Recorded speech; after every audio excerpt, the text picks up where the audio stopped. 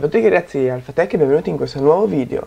Siamo qui oggi con il setup solito macro, una webcam differente, è ritornata e spero non lo direte per un paio di video probabilmente ci sarà la Livecam HD 5000 in quanto la SG Cam è ritornata direttamente da Amazon per la scandalosissima batteria e comunque anche saltuari problemi di utilizzo anche come webcam.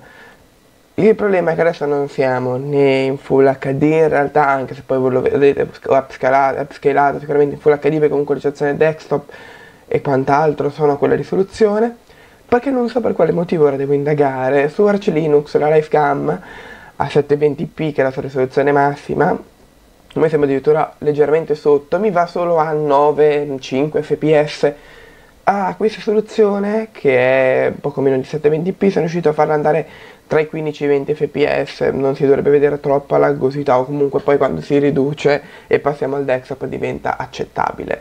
Quindi mi scuso intanto vi anticipo questa piccola problematica ma poi eh, si andrà a risolvere col tempo o risolvendo con la livecam o probabilmente sostituendola con altro sto facendo degli esperimenti delle prove ma ancora non ho trovato una soluzione che mi permetta di registrare bene video.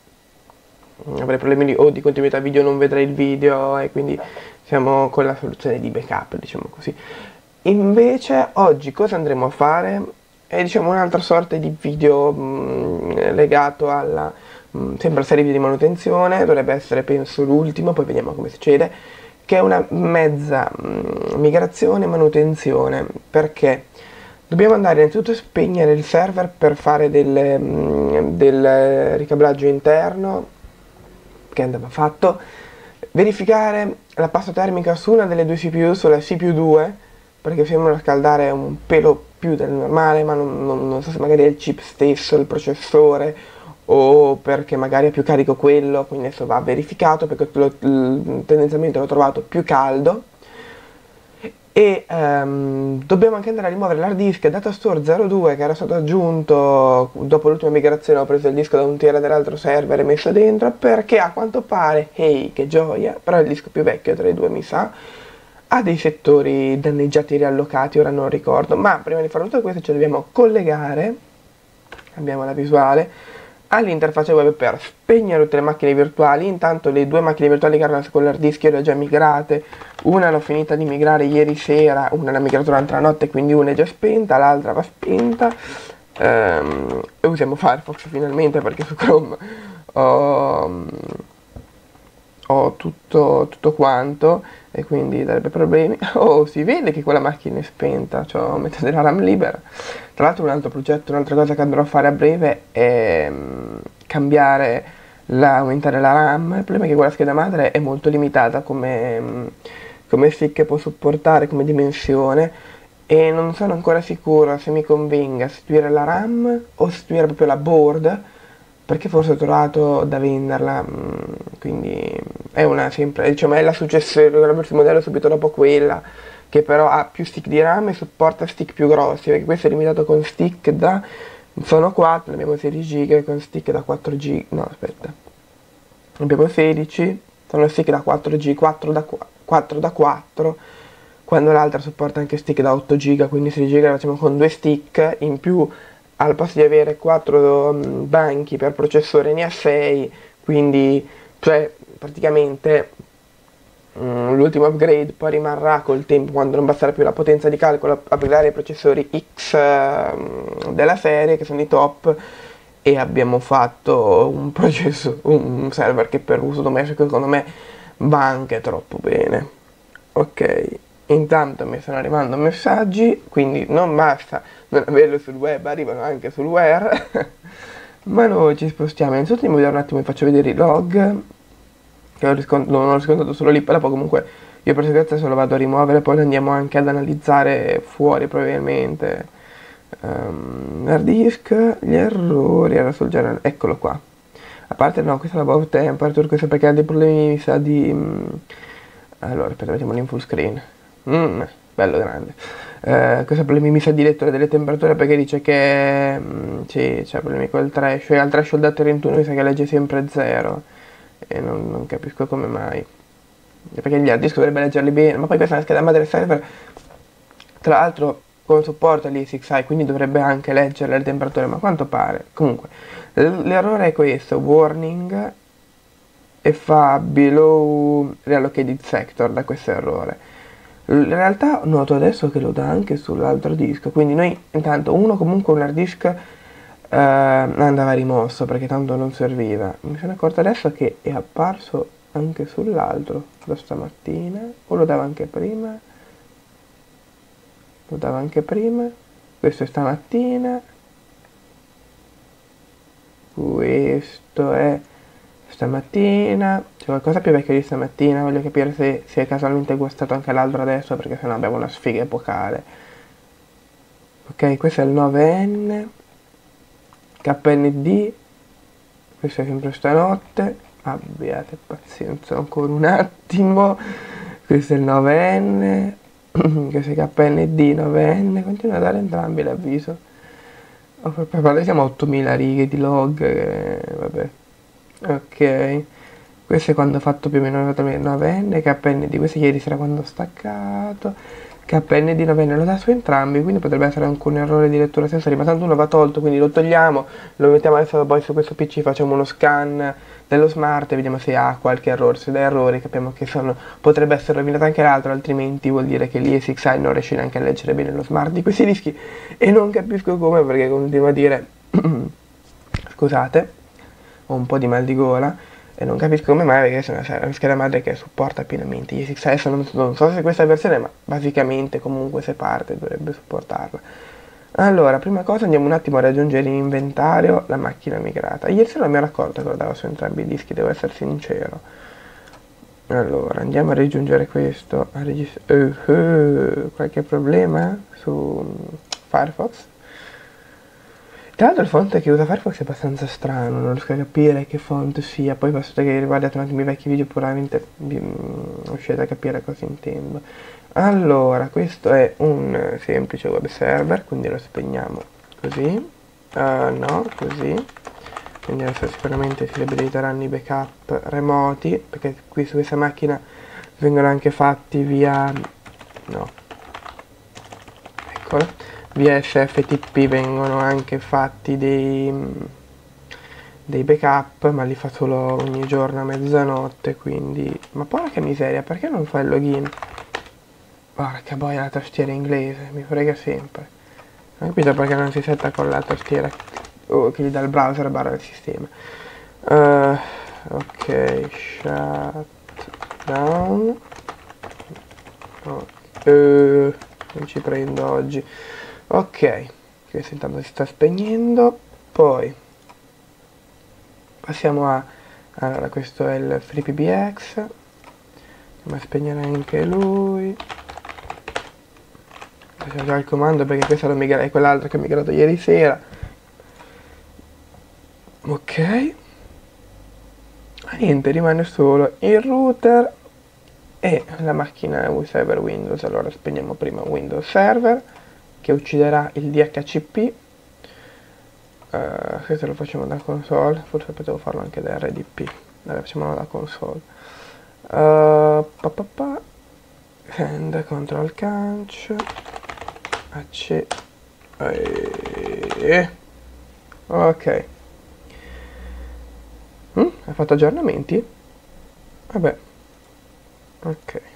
Andiamo ad arrestarlo. Uh, la diciamo più o meno pianificata, più o meno. sì, in realtà non è che improvvisa spendo di botto perché devo fare una manutenzione estrema subito.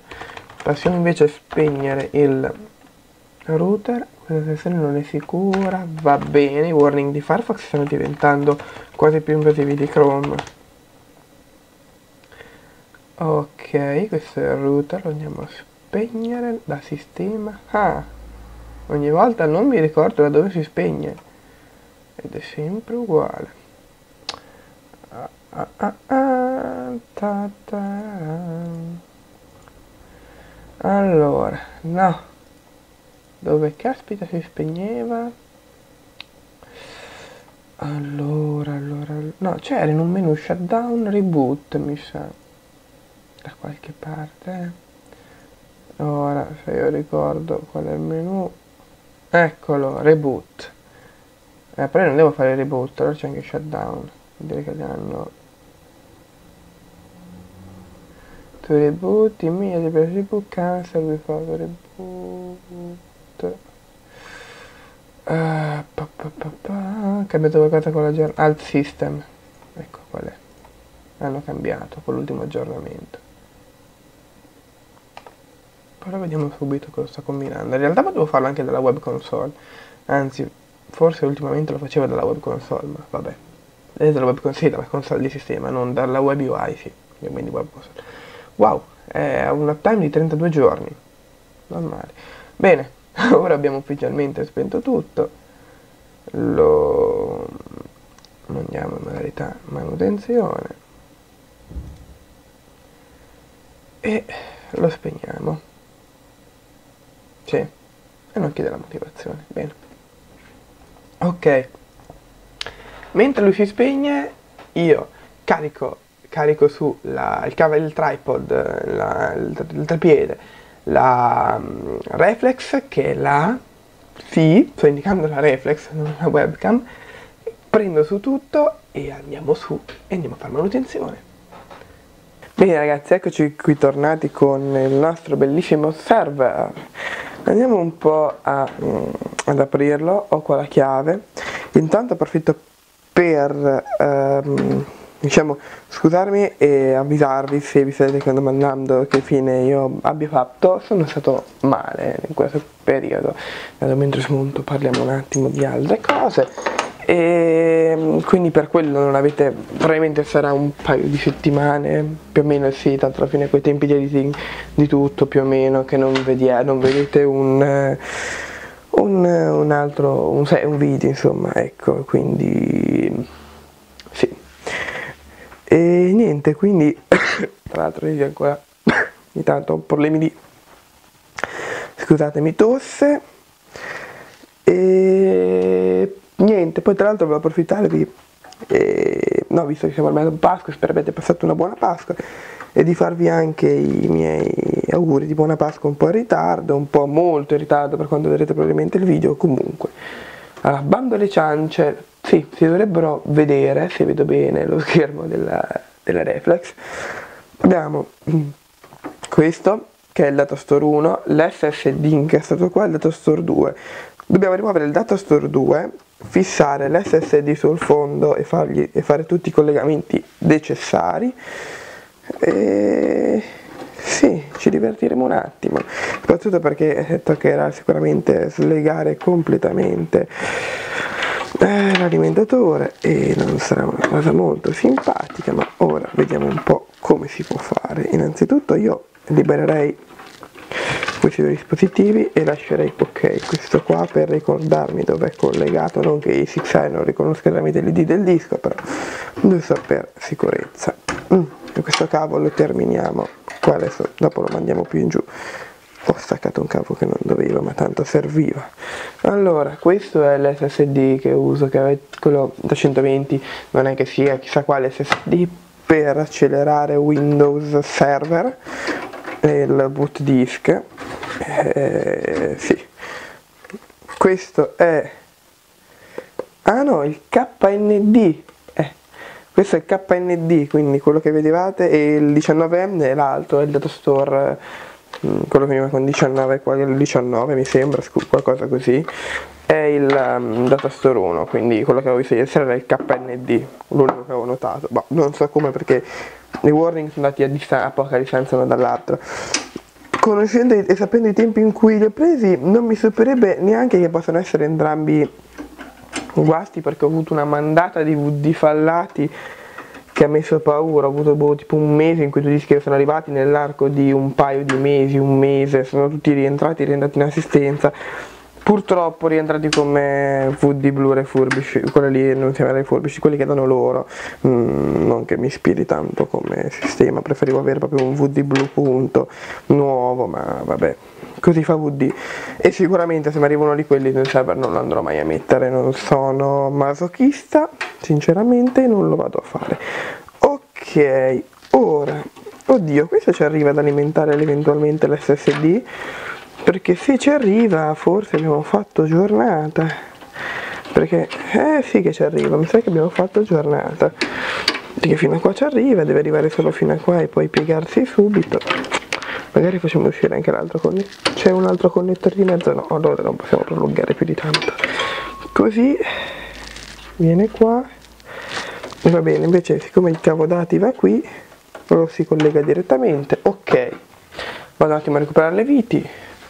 Vabbè voi mi sentirete comunque vicino perché ho il wireless lavalier però non sono proprio così vicine ero proprio indietro eccomi qua allora lo andiamo a fissare qua sul fondo. Questo per perché non, questo case in realtà non ha un vero slot per dove ho messo il cacciavite?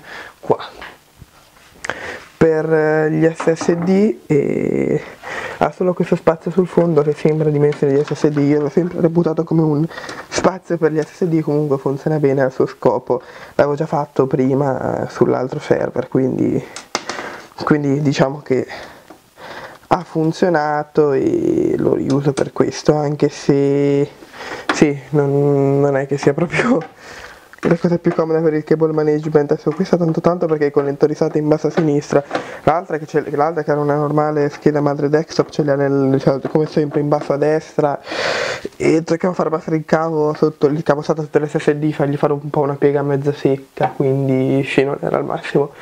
E non mi ricordo dove lascio le viti ah qua di fianco poi le appoggiate due nanosecondi fa eh. Cioè ok ho seri problemi di memoria molto grandi. Molto molto molto. Ok.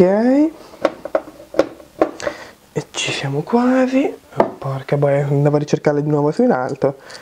Ah non ci sono proprio. Vediamo ok. Oh 4 volte su 4 eh ragazzi. Poi lo vedrete sicuramente si vede in camera sì che si vede. Ah, io vado a cercarle qua sulle viti sì. Sì che si vede. E invece l'avevo qua in realtà qua sotto. Bene. Allora. Avvitato. Ok. Ora corrente ah l'imitazione forse devo farla passare vabbè. E eh, noi la facciamo passare sopra passare sotto tanto si ferma lì. Va benissimo. Dovrebbe arrivarci con un pelo di fortuna un po' di sedere che non, va, non guasterebbe mai. Forse facendo la triangolare. Boh perché pure che vado in mezzo alla ventola a rompere le scatole. Perché la ventola c'è una protezione davanti però allora. Ok collegato qua. Eh voi vedete un po' scuro effettivamente lì. Comunque è qui collegata la corrente. Ora il cavo dati anche se è un po' lunghetto adesso vedo se trovo qualcosa per legarlo. Oddio ci sarebbe anche giù così si sta fermo da solo. Ok e questa operazione è fatta. Ora arriva l'operazione più diciamo pesante. Perché dobbiamo smontare questo per vedere se ho messo malissimo la pasta termica se ha fatto qualcuno dei miei danni quindi via la ventola e via con le viti. Queste poi tra l'altro sono anche molto bastate sono quelle con la molla per, eh, per tenere bene in tensione quindi sì non sono molto simpatiche.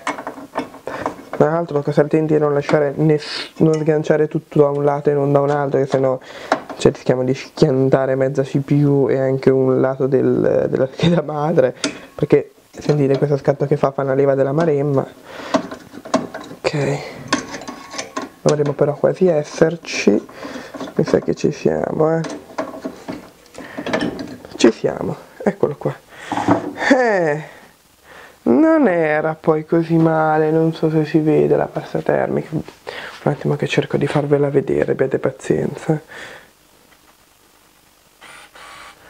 Non so se questa si mette a fuoco si vedono solo i chip da qui vediamo un po' eccola.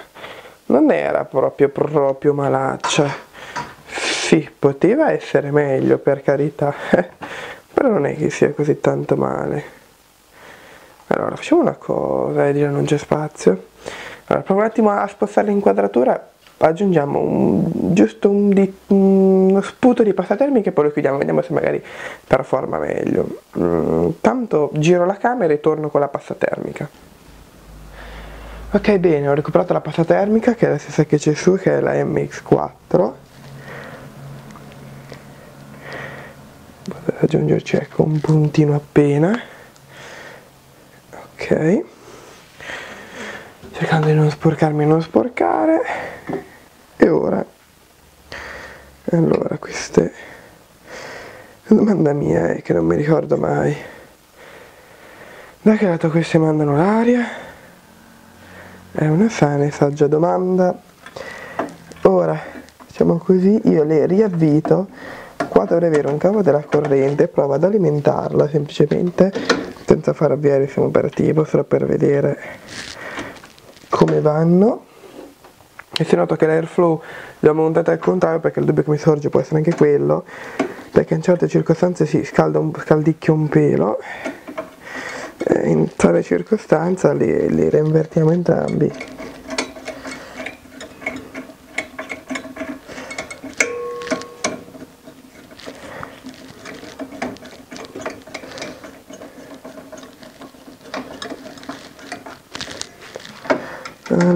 Allora, vediamo, vediamo, vediamo, a vita.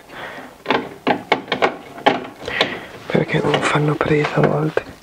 E se bastardo poi per fargli far presa perché fanno delle leve assurde. Sti cosi. Ok, questo è arrivato. Questo ancora no.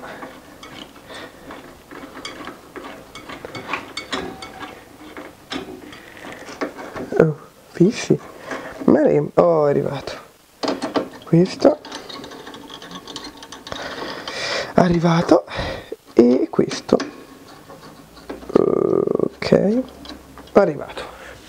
Collegato. Ora vediamo se arriva. Dovrei avere qua il cavo. Ok. Diciamo non penso arrivi. Boh in realtà c'è una prolunga. Eh, lunga non è corta però basta fare così ok spento ok. Prima di accenderlo. Devo aprire davanti.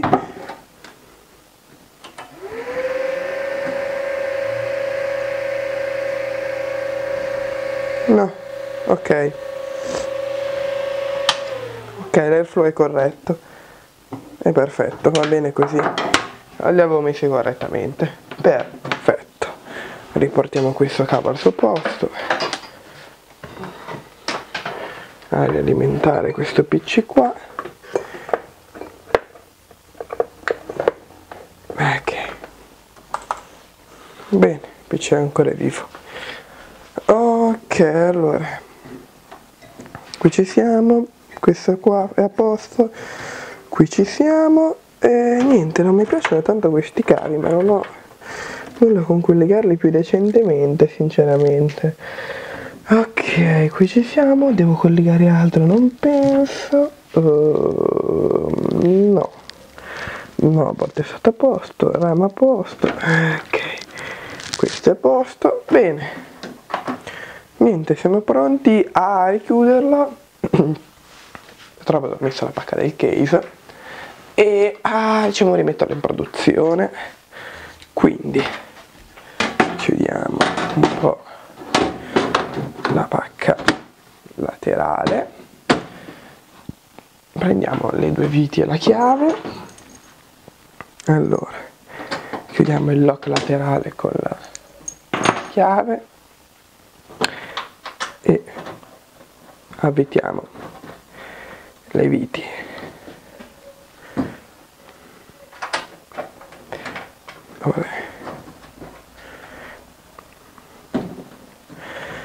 Ok, ora non mi resta che riportare al suo posto il server, accenderlo e ci rivediamo sulla web UI di, dell'ESXi. Bene ragazzi, allora ho, ho testato l'hard disk che ho rimosso e sì, anche se non era quello il threshold dei settori danneggiati comunque qualcosa aveva ha comunque dei problemi penso meccanici il disco perché um, legge a 50 megabyte al secondo e ne scrive a 70, quindi no, non è proprio perfetto, soprattutto perché ha un anno di utilizzo, se non sbaglio, poco più, e sì, qualcosa col disco non va.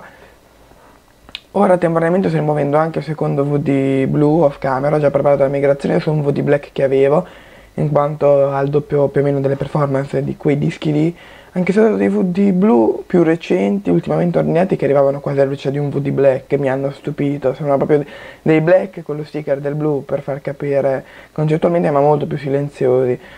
Mm, però al momento ho un black da 500 che mi basta, e provo a mettere quello nel frattempo di probabilmente trovare un disco più uh, idoneo per un server, non riesco a capire se è un problema di, mm, di, diciamo, di affidabilità nel disco con quel tipo di utilizzo e sicuramente posso capire che i blu non siano al massimo, ma magari non mi danno il massimo delle performance, non dovrebbero autodistruggersi in un anno, anche perché adesso proverò anche, ho quasi finito completamente la migrazione, anche il secondo disco, ma se si è, tra virgolette, autodistrutto anche questo, Mm, che poi è il più recente, ancora più recente di quell'altro, mi fa pensare veramente, veramente male. E sì, mi fa pensare che qualcosa non vada. Mentre il 500 che ho ora, se non si... che è quello il black, se non dà problemi, è un miracolo perché è due anni che gira tra server, PC, server, PC, PC, server, ora sul mio, è stato su un server, ritorna avanti, è stato per due anni nel mio PC. Eh, eh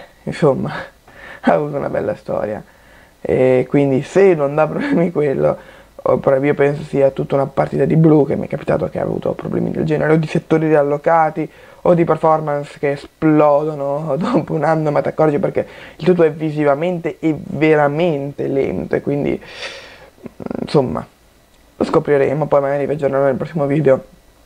Tanto comunque um, andremo a fare anche altri lavori non è terminato dobbiamo anche sistemare la situazione UPS, eh, lo capirete in un prossimo video, ehm, perché devo mm, gestirlo in maniera migliore, lo capirete in un prossimo video anche perché ancora non so precisamente con che soluzione, con che sistema proseguire, quindi poi ne, ne parleremo magari insieme. Penso di propendere per qualche soluzione di monitoring basato su Raspberry Pi, in quanto ho un Raspberry Pi di prima generazione qui in giro da qualche parte che ora non vedo, eh, che però non sta facendo nulla e quindi visto che comunque per utilizzi un po' più pesanti preferisco usare un PI2 o un, addirittura un, 3, un 3B eh, allora sì diciamo che quello potrebbe essere il suo scopo finale. Però ne parleremo in un altro video anche perché mi sembra che questo mi sono dilungato abbastanza. Quindi un saluto a tutti da Andrea per AlfaTech e ci vediamo in un prossimo video. Ciao a tutti